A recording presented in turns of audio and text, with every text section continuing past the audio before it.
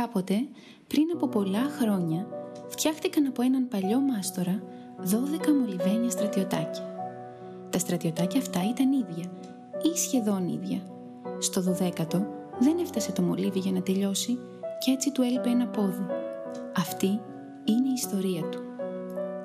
Το στρατιωτάκι μας αγοράστηκε από ένα παιδάκι που τώρα πια είχε μεγαλώσει πολύ για να παίζει και έμεινε να ζει με μια όμορφη χορεύτρια και έναν κακό κλόουν, τρομακτικό στην όψη και φθονερό στην ψυχή.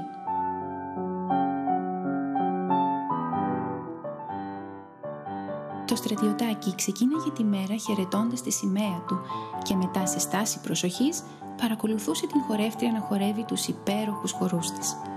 Με τον καιρό την είχε αγαπήσει πολύ και θα ήθελε να χορέψει μαζί της, αλλά επειδή είχε μόνο ένα πόδι, καθόταν σιωπηλά και απλώς την θαύμαζε να λυκνίζεται σε υπέροχες μουσικές. Η κουκλίτσα χορεύτρια όμως πλησίασε το στρατιωτάκι και άπλωσε στοργικά το χέρι της σε αυτό. Όμως τον κλόουν δεν άρεσε καθόλου που το μολυβένιο στρατιωτάκι αγαπούσε την χορεύτρια. Το κακό αυτό παιχνίδι ήταν ζηλιάρικο και φθονερό. Δεν άντεξε άλλο και με ένα πολύ δυνατό χτύπημα έστειλε το στρατιωτάκι ψηλά στο ανοιχτό παράθυρο έξω από το σπίτι. Το στρατιωτάκι έπεσε με γδούπο πάνω στο χώμα της αυλής και για λίγο νιώσε φοβισμένο, καθώς είχε χάσει την θαλπορή του σπιτιού που ζούσε τόσα χρόνια. Γενναίοι όμως δεν είναι όσοι δεν φοβούνται, αλλά όσοι μπορούν να ξεπεράσουν τον φόβο τους. Έτσι, το γενναίο μας στρατιωτάκι σηκώθηκε όρθιο και περίμενε τον ζωοδότη ήλιο που οι ακτίνες του θα του έδιναν αισιοδοξία.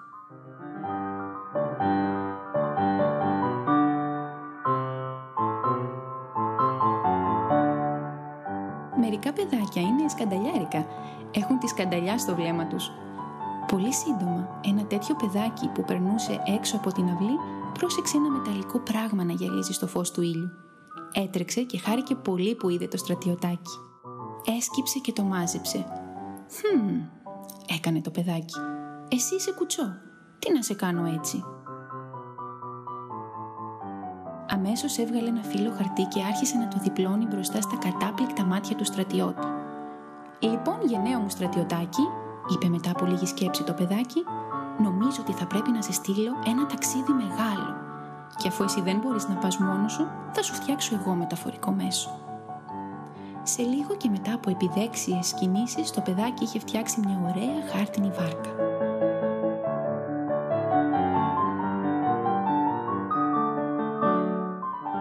«Για πού όμως» αναρωτήθηκε δυνατά. «Α, ξέρω» είπε και έπιασε το στρατιωτάκι και το έβαλε μέσα στην βαρκούλα.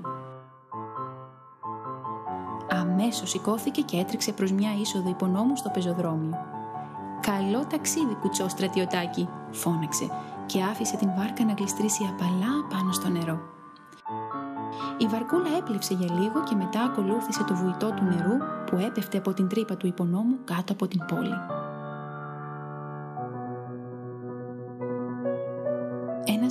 Ένας νέος κόσμος ανοίχτηκε μπροστά στο στρατιωτάκι.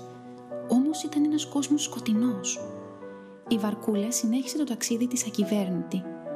Αναδιαστήματα φως γλιστρούσε από κάποια ανοίγματα ψηλά και το στρατιωτάκι κοίταζε γύρω του μέχρι να χαθεί ξανά στο σκοτάδι. Και το ταξίδι συνεχιζόταν με το στρατιωτάκι να στέκει γενναίο μέσα στη χάρτινη βαρκούλα.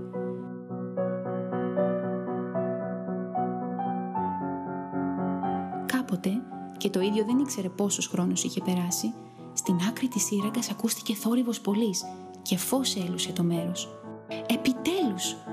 σκέφτηκε το στρατιωτάκι. «Φτάνω στην έξοδο, όμως η χάρτινη βαρκούλα βγαίνοντας στο φως έπεσε στο κενό.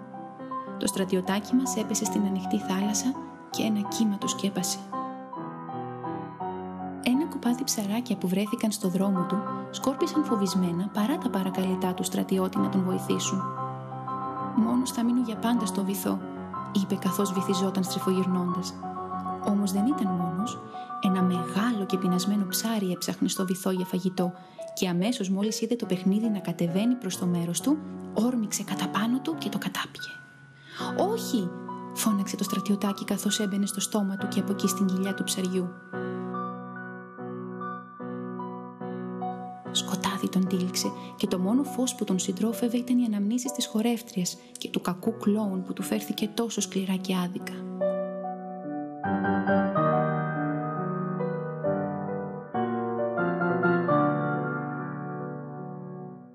Όμως το λέμαργο ψάρι δεν είχε χορτάσει και έπεσε τελικά θύμα της λεμαργίας του.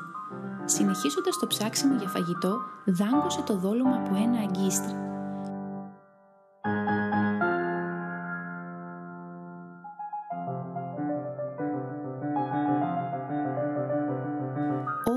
πάλεψε να ξεφύγει, κάνοντας το στρατιωτάκι να ζαλιστεί μέσα στην κοιλιά του, τελικά οι ψαράδες του ψαροκάικου το ανέβασαν στο κατάστρωμα και ήταν πολύ χαρούμενοι που έπιασαν τόσο μεγάλα ψάρια για να τα πουλήσουν. Το ψάρι κατέληξε στην ψαραγορά και εκεί αγοράστηκε από κάποιον άνδρα που βιάστηκε να γυρίσει σπίτι του να το μαγειρέψει. «Μα τι είναι αυτό» έκανε έκπληκτος καθώς άνοιξε και κοίταξε μέσα στην κοιλιά του ψαριού. Η καρδιά του στρατιωτάκου σκύρτησε. «Στρατιωτάκο μου, έλα να σε βάλω στη θέση σου», ο στρατιώτης ήταν πάλι στο δωμάτιο με την αγαπημένη του χορεύτρια και τον εξαγριωμένο κλόουν. Η χορεύτρια χαρούμενη ξαναστήθηκε στα πόδια της και άρχισε να χορεύει από την χαρά της. Ο κλόουν δεν αντιστάθηκε στην κακία που του προξενούσε η ζήλια του και άρπαξε τη σημαία του στρατιώτη και πήδηξε κατά πάνω του. Το χτύπημα τον πέταξε στο τζάκι χωρίς να βγάλει μιλιά. Η χορεύτρια, με μια χορευτική κίνηση όλο χάρη, πήδηξε μέσα στις φλόγες πηγαίνοντας να βρει τον αγαπημένο της. Το φθονερό παιχνίδι θα έμενε για πάντα μόνο.